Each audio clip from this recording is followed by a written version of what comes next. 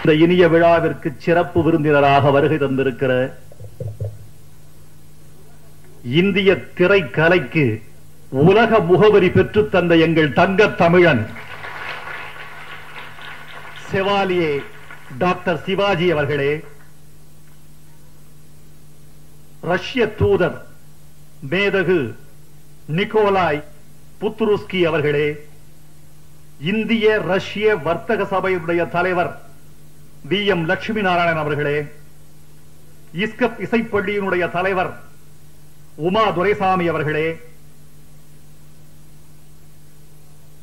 அன்புக்குரிய வங்கி மேலாளர் ராஜா அவர்களே ரஷ்ய கலாச்சார மையத்தினுடைய இயக்குனர் வாதீம் கிரசனோ அவர்களே என்னுடைய அருமை நண்பர் இஸ்கபின் செயலாளர் தங்கப்பன் அவர்களே இசையமைப்பாளர் என் அருமை சகோதரர் டி கே ஜெயராமன் அவர்களே இந்த நிகழ்ச்சியை தமிழ் மணக்க மணக்க தொகுத்து வழங்கிக் கொண்டிருக்கிற அருமை தம்பி முனியப்பராஜ் அவர்களே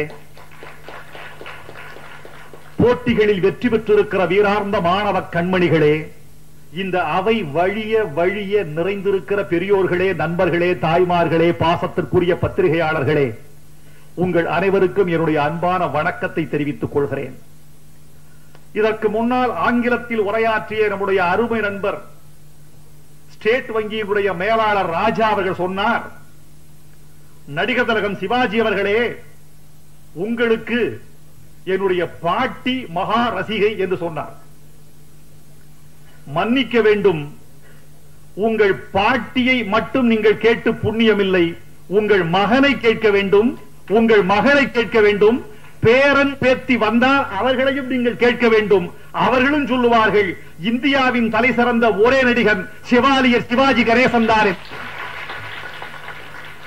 இந்திய சுதந்திரத்தினுடைய பொன் விழாவை தொடங்கி வைப்பதற்கு ஒரு பெரிய கனத்த கம்பீரமான உருவம் மாத்திரம் அல்லாமல் இந்த மண்ணை தன்னுடைய தாய் மண்ணை உயிராக நேசிக்கக்கூடிய ஒரு கலைஞன் வேண்டும் என்று கருதிய பொழுது செவாலிய டாக்டர் சிவாஜி கணேசன் அவர்களை தவிர இந்த மண்ணில் அதைவிட பொருத்தமான தலைவர் யார் இருக்க முடியும் என்று கேட்டு நாங்கள் அவரை அழைத்திருக்கிறோம். என்னுடைய அருமை நண்பர் தங்கப்பன் அவர்கள் ஆதங்கத்தோடு சில விஷயங்களை சொன்னார். தங்கப்பன் எப்போதுமே கொஞ்சம் நீட்டி முழக்குவார். அதாவது அதற்கு காரணம் என்னவென்று கேட்டால் ஆதங்கத்தினுடைய அடிப்படையில் அவர் சொல்லுவார். அவர் சொன்னார் எத்தனை விருதுகள் வந்திருக்க வேண்டும் விருதுகள் வரவில்லையே என்று அவர் ஆதங்கப்பட்டார். தங்கப்பன் அவர்களே என்னை நீங்கள் மன்னிக்க வேண்டும். பல்கலைக்கழகத்திற்கு பல்கலைக்கழகம் தான் விருதுகள் தருமே தவிர பல்கலைக்கழகத்திற்கு விருதுகள் எதுவும் தேவையில்லை. பட்டங்கள் யாருக்கு? தனி மனிதனுக்கு பட்டங்களையே வழங்குகிற பல்கலைக்கழகமாக திகழ்ந்து கொண்டிருக்கிற எங்க சிவாஜி சிவாஜி அவர்களுக்கு தனியாக பட்டம் தேவையில்லை. பட்டங்களும் விருதுகளும் கொடுத்து அந்த கலைஞனுக்கு கட்டுப்படியாகாது கொடுத்திருந்தால் அவருடைய முதல் படம் ஆயிரத்து தொள்ளாயிரத்து ஐம்பத்தி ரெண்டில் முதல் படம் என்று பார்க்கிற பொழுது முதல் படமா? இதுவா இவரா முதல் நடிகர். ஐயையோ தாயின் கருவில் புரண்டு படுத்த போதே நடிக்க தொடங்கி இருப்பாரோ என்ற ஆச்சரியத்தோடு தமிழ்நாடு வியந்ததே.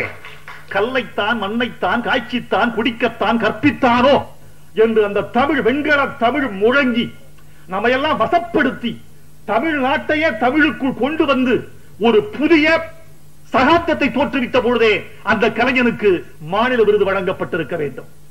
வீரபாண்டிய கட்டபொம்மனில் தூக்கு மேடைக்கு போகிற போது அந்த கால்கள் மட்டும் நிறந்து போகுமே. அந்த கால்களில் மரணத்தை வென்று பிடித்த கம்பீரத்தை கால்களில் காட்டியிருப்பாரே நம்முடைய சிவாஜி அவர்கள். அப்போது அவருக்கு தேசிய விருது வழங்கப்பட்டிருக்க வேண்டும். எங்கிருந்தோ வந்தாள் என்று ஒரு படம். புத்தி சுவாதீனமற்ற ஒரு கலைஞன் முதன் முதலில் காதல் வசப்பட்டு கண்கள் துடிக்கிறார் கண்கள் துடிக்கிற பொழுது முகம் யோசித்து பார்த்தால் தெரியும். அழுகை என்றால் முகம் முழுக்க அழும். சிரிப்பென்றால் முகம் முழுக்க சிரிக்கும். துடிப்பென்றால் முகம் முழுக்க துடிக்கும். ஆனால் காதலை காட்டுவதற்கு இடது கன்னத்தின் மேற்புறத்தை மட்டும் அசைத்து நிறுத்தி காட்டிய ஒரே நடிகர் நம்முடைய சிவாஜி அவர்கள். அதற்கு கொடுத்திருக்க வேண்டும் தேசிய விருது. இருக்கட்டும். தில்லானா மோகனாம்பாளில் வாசித்தவன் காரு குறிச்சியா? இந்த கலைஞரா? என்று யாருக்கும் சந்தேகம் வந்து விடுகிற அளவுக்கு இந்த கழுத்து நரம்புகள் இப்படி புடைக்குமே அதற்கு வழங்கப்பட்டிருக்க வேண்டும் பத்ம விபூஷன் விருது. முதல் மரியாதையில் அவர் மீன் குழம்பு சாப்பிட்டு ஒரு சீன் அடிச்சிருப்பார் அடே அப்பா ரொம்ப பேர் சைவர்கள் எல்லாம் அசைவர்களாக மாற்றி விட்டீர்கள் ஐயா. ரொம்ப பேர் காய்கறி சாப்பிடுகிறவன் கூட ஓ மீன் குழம்பு என்றால் இவ்வளவு ருசியாக இருக்குமோ? என்று உங்களை பார்த்து கற்றுக்கொண்டு மீன் குழம்பு சாப்பிட ஆரம்பித்தார். ரொம்ப பேரை மதம் மாற்றியதே நீங்க தான் சைவத்திலிருந்து அசைவத்திற்கு. அப்படி ஒரு காட்சி அந்த காட்சிக்கு ஆஸ்கார் விருது வழங்கப்பட்டிருக்க வேண்டும். பாசமலரில் தன்னுடைய தங்கை தன்னை பற்றி உயர்வாக பேசுவதை கேட்டு துப்பாக்கி எடுத்து சுட வந்த அண்ணன் நிறம் மாறி துப்பாக்கியை கொண்டு கன்னத்தில் விழுகிற கண்ணீரை துடைத்து சுண்டி எறிவாரே? அந்த ஒரு காட்சிக்காக இவருக்கு உலக விருதுகள் எல்லாம் வந்திருக்க வேண்டும். இனிமேல் உங்களுக்கு எதற்கு விருது? எல்லாவற்றையும் தாண்டி விட்டீர்கள். இமயமலைதான் நதிகளை உற்பத்தி செய்து செய்யுமே தவிர நதிகள் ஒன்றும் இமயமலையை உற்பத்தி செய்வதில்லை. நீங்கள் இமயமலை உங்களில் ஓடி வந்த சிற்றோடைகள் ஆறுகள் சின்ன சின்ன ஓடைகள் எல்லாம் தான் இன்றைக்கு திரையுலகத்தில் வாழ்ந்து கொண்டிருக்கிறார்கள். உங்கள் காலத்தில் நாங்கள் வாழுகிறோம் என்பது எங்களுக்கு பெருமை. உங்கள் பக்கத்தில் நாங்கள் அமர்ந்திருக்கிறோம் என்பது எங்களுக்கு கர்வம். இந்திய துணைக்கண்டத்திற்கு முகவரி வேண்டும் என்று கேட்டால் நாங்கள் சிவாஜி பிறந்த மண்ணை சேர்ந்தவர் என்று சொல்லிக் கொள்வதில் நாங்கள் பெருமையும் பெருமிதமும் பூரிப்பு அடைகிறோம். நீங்கள் பல்லாண்டு வாழ வேண்டும். நீங்கள் வாழுகிற காலம் வரை நாங்களும் வாழ வேண்டும். இவ்வளவுதான் எங்களுக்குரிய ஆசையெல்லாம். அந்த பெருமகர் இங்கே வந்திருப்பதை நான் பெருமையாக கருதுகிறேன். நண்பர்களே தென் மாவட்டங்களின் ஜாதி கலவரத்தை பற்றி நண்பர் தங்கப்பன் மனம் கொதித்து கண்களிலும் இருதயத்திலும் ரத்தம் கசிய கசிய இங்கே பேசினான். என்ன காரணம் என்று யோசித்து பார்த்தோம். இந்த மண் சுதந்திரம் பெற்ற ஐம்பது ஆண்டுகள் வரைக்கும் கூட இந்த மண்ணில் சுதந்திரத்தின் பெருமையை தனி மனிதனுக்கு நாம் உணர்த்தவில்லை. வானத்திலிருந்து விளைந்து வந்த ஏதோ மந்திரத்தில் பெற்ற மாங்காய் என்று கருதி கொண்டிருக்கிறார் சுதந்திரத்தை. ஏதோ வெள்ளைக்காரன் இந்த நாட்டை சலித்து போய் விட்டு விட்டு போய்விட்டார் என்று சில பேர் கருதுகிறார்கள். அல்லது இரண்டாம் உலக போரின் காலகட்டத்தின் காரணமாக நிர்பந்தத்தின் காரணமாக இந்திய என்ற காலனியை விட்டு விட்டு அவர் வெளியே போய்விட்டார் என்று கருதுகிறார்கள். அப்படி அல்ல. எங்கள் இளைய தலைமுறைக்கு உணர்த்த வேண்டும். இது ஒன்றும் கத்தியின்றி ரத்தமின்றி வாங்கப்பட்ட சுதந்திரம் அல்ல என்பது உணர்த்த வேண்டும். ஜாலியன் வாலாபாக் கதையை தினந்தோறும் உங்களுக்கு உணர்த்த வேண்டும். தன் கடைசி சொட்டு உயிர் மற்றவற்ற அடித்து கொல்லப்பட்டாரே திருப்பூர் குமரன். அவன் கதை உணர்த்தப்பட வேண்டும். வாஞ்சிநாதன் அந்நிய ஏகாதிபத்தியத்தை சுட்டுவிட்டு செத்தாரே வாஞ்சிநாதன். அவன் கதை உணர்த்தப்பட வேண்டும். இருபத்தி மூன்று வயதில் இந்த மண்ணுக்காக தூக்கு கயிற்றை முத்தமிட்டாரே பகத்சிங் அவன் கதை உணர்த்தப்பட்டிருக்க வேண்டும்.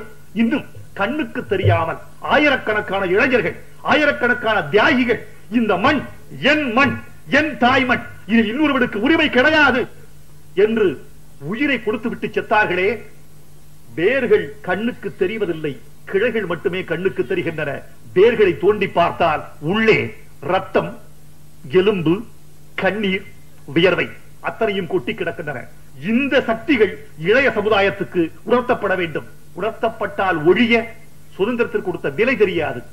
இந்த நாட்டில் ஐயாவோடு பேசி சிவாஜியோடு பேசிக் கொண்டிருந்த போது சொன்னோம் அழகாக சொன்னார் என்ன ஜாதி கலவரத்தை பற்றி அவரும் நானும் பேசிக் கொண்டோம் அவர் சொன்னார் ரொம்ப ஆழமான கருத்து சொன்னார் நாட்டு பற்று யாருக்கு இருக்கிறது என்று கேட்டார். அவருடைய இதயத்தினுடைய அடி நாதம் கொதித்து வருகிற வார்த்தை நாட்டு பற்று யாருக்கு இருக்கிறது? இந்த மண்ணில் சராசரி இந்தியனுக்கு நாட்டு பற்றை போதிப்பதை விட இந்த நாட்டில் பெரிய மனிதர்களாக இருக்கிற பல பேருக்கு நாட்டுப்பற்றை போதிக்க வேண்டியிருக்கிறது. இந்த நாட்டில் கடைசி மனிதர் உழைத்துக் கொண்டிருக்கிறான். ஒரு குறிப்பிட்ட வர்க்கம் சுரண்டி கொண்டிருக்கிறது. அவர்கள்தான் இந்தியாவை அடகு வைத்துக் கொண்டிருக்கிறார் என்பதை மறந்துவிடக் கூடாது. எனவே தேசப்பற்று என்பது கீழே இருந்து மேலே வருவது என்ற நிலையை மாறி மேலே இருந்து கீழே வர வேண்டும். அப்படி ஒரு நிலைமையை மாற்றுவதற்கு இளைஞர்கள் போராட வேண்டும்.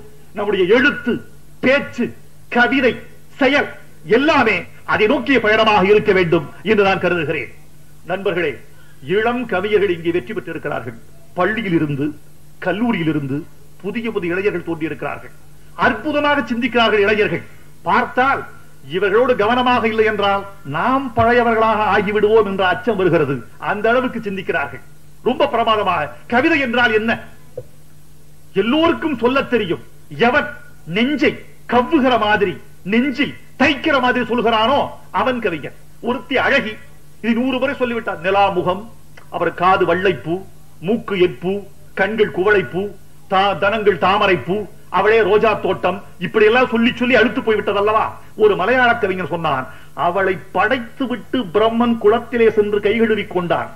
தாமரை பூக்கள் பூத்தன. படைத்து முடித்த மிச்சத்தில் அந்த டஸ்ட் கழுவனாய் அவன் போய். அந்த டஸ்ட்லயே தாமரை பூ பூத்தான் மூலப்பொருளில் படைக்கப்பட்டவன் எத்தனை அழகின்னு கேட்கிறான்.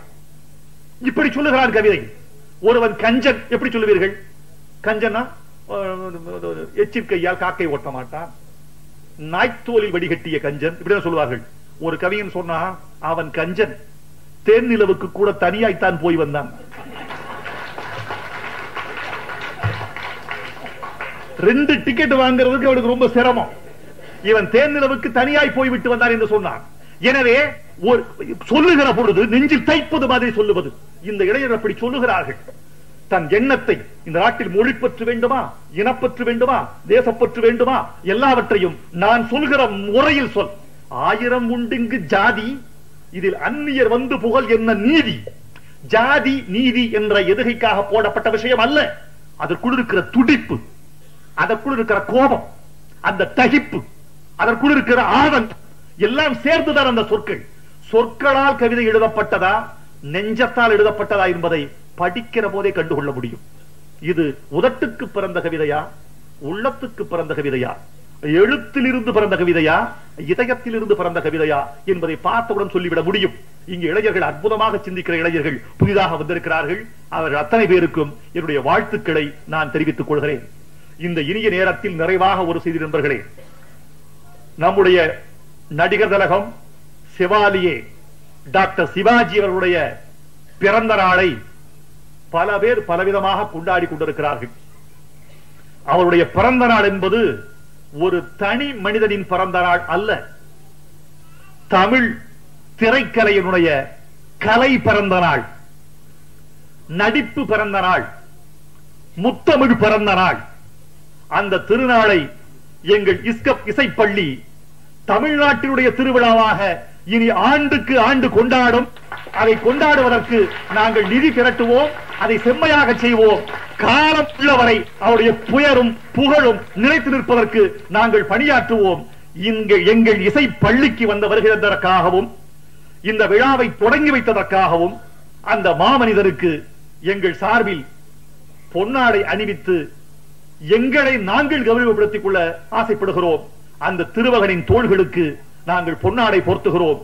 இந்த சபையே எழுந்து நின்று கைதட்டி அந்த மகா கலைஞனுக்கு மரியாதை செலுத்தட்டும். வணக்கம்.